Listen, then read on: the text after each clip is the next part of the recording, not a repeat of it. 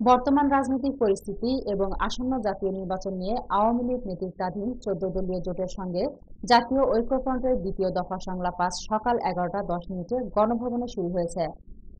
আওয়ামী লীগ সূত্র একথা জানায়। প্রধানমন্ত্রী শেখ হাসিনা সংলাপে এগারো সদস্যের চোদ্দ দলীয় জোটের প্রতিনিধি দলের নেতৃত্বে দিচ্ছেন, নেতৃত্ব দিচ্ছেন।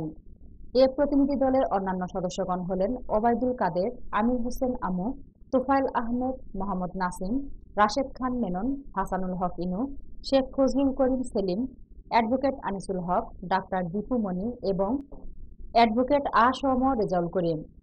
অপরদিকে জাতীয় ঐক্যফ্রন্টের আহ্বায়ক ডক্টর কামাল হোসেনের এই প্রতিনিধি দলে রয়েছেন ASM Abdur Rob, Mirza Fakhrul Islam Alamgir, doctor Khandaker Mosharraf Hossain, barrister Moudud Ahmed, Mostafa Mohsin Montu, advocate Subrata Chowdhury, Mahmudur Rahman Manna S M Akram, Abdul Malek Ratan এবং সুলতান মোহাম্মদ মনসুর আহমেদ। পহেলা নভেম্বর গণভবনে এই দুই রাজনৈতিক জোটের প্রথম দফা সংলাপ অনুষ্ঠিত হয়।